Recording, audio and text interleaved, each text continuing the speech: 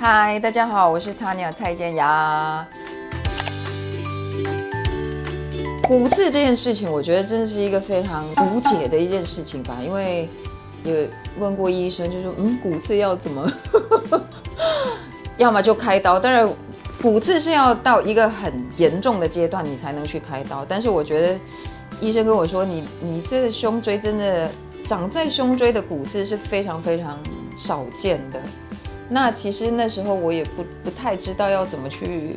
呃，面对这件事情，但至少我找到了一个答案，就是说我那么多年的那种呼吸困难，就是有一种就是肌肉紧绷，哦，原来是这个东西造成。但是因为得到这个答案，我就我就会觉得好像不会那么的困惑，而是想说我要怎么让这个东西更舒服，所以他就让我去，可能就是去找一些伸展的一些。